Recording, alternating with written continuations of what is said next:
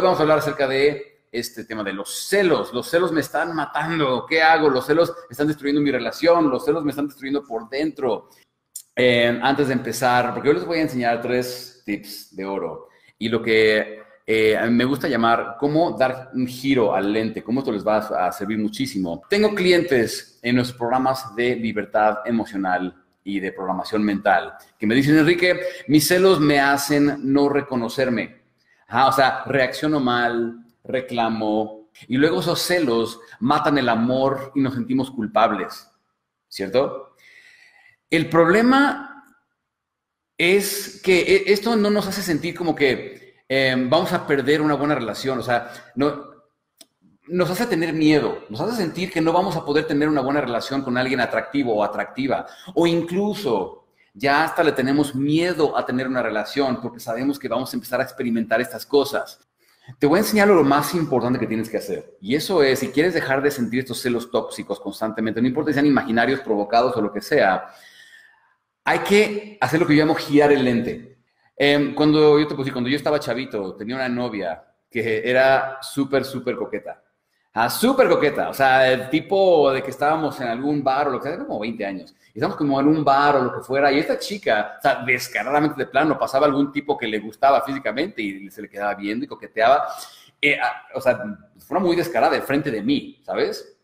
Y um, hoy, eh, entiendo y sabemos que no podemos juzgar a alguien por hacer esas cosas, no tiene nada que ver conmigo, sino que tiene que ver con su propia necesidad de sentirse vista, aceptada, etc. Y tenía muchas necesidades. Pero yo solo tenía la necesidad de que me quisiera y de, que tuviera una bonita relación conmigo. Entonces, lo que yo sentía al momento que ella coqueteaba con otras personas era que yo, me, yo sentía que yo no era suficiente. Después, más adelante, tuve otra novia, un par de años después, como 20, 20 y poquito años, que no era nada coqueta.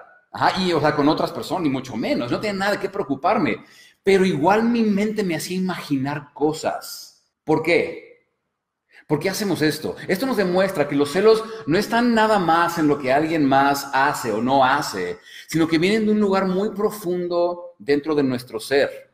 Entonces te voy a enseñar cómo girar tu lente, en qué consiste y tres pasos para dominar estos celos destructivos. y por cierto, si realmente hablas en serio y quieres recuperar tu tranquilidad y tu paz, recuerda que estamos haciendo una clase gratuita próximamente con ejercicios y técnicas de reprogramación para dominar los celos, sentirte más segura o seguro en estas situaciones y vas a ver muy pronto. Solo ve a celosdominados.com, Celosdominados.com. Ahora sí, ¿qué es girar el lente?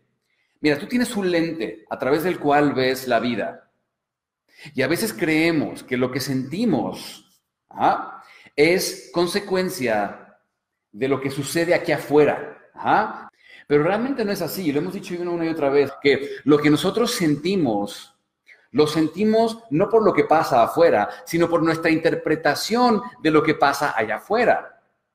Entonces, número uno, ¿okay? paso número uno, date cuenta de que tus celos no tienen absolutamente nada que ver con la otra persona.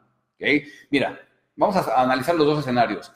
Si te estás imaginando cosas que no están pasando realmente y tienes constantemente pensamientos de cosas que podrían pasar y te vuelven loco, ¿qué creencia tienes sobre ti o sobre las mujeres o sobre los hombres o, sobre las relaciones que te están haciendo sentir de esa forma?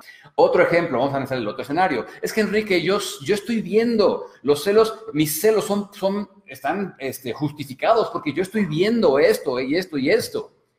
Y la pregunta se vuelve, ¿qué crees tú acerca de ti mismo que tú crees que tienes que tolerarlo? Entonces, paso número dos. Si quieres superar los celos, lo que tenemos que empezar a hacer es mejorar lo que crees acerca de ti, o sea, incrementar tu autoestima y mejorar lo que crees acerca de tu pareja. Porque te voy a decir algo, si tú sientes celos, sientes tu relación amenazada, es porque, o número uno, no sientes que tú eres suficiente, o número dos, crees cosas terribles sobre lo que tu pareja sería capaz de hacerte, o hacer, digamos, no hacerte, porque la, la gente no nos hace cosas, la gente simplemente hace cosas, y nosotros decidimos cómo interpretarlo. Ahora, número tres, y esto es bien importante, porque muchos de ustedes yo sé que están en relaciones y muchos de estos celos no, necesariamente están justificados y, y, a veces somos celosos como psicoposesivos eh, eh, en exceso y, y, porque un poquito de celos puede ser normal, ¿sabes? Somos humanos. Pero ya cuando empiezan a dañar la relación, Hay que aprender a hacer esto. Es el punto número tres. Exprésalo de una forma que construya y no de una forma que destruya. ¿Por qué? Porque tenemos que decirlo. Una vez más, gira el lente y empezamos a ver hacia nosotros y empezar a entender, a ver, ¿cómo puedo expresar lo que estoy sintiendo? No juzgar a la gente y no acusar a la gente, simplemente empezar a, decir lo que estoy sintiendo. ¿Listo? Es son las tres cosas que podemos hacer para, eh, bueno, los tres tips que te puedo dar prácticos para empezar a lidiar con nuestros sentimientos de celos. Tomar responsabilidad, incrementar nuestras creencias y autoestima, eh, relaciones y aprender a comunicarnos. ¿Listo?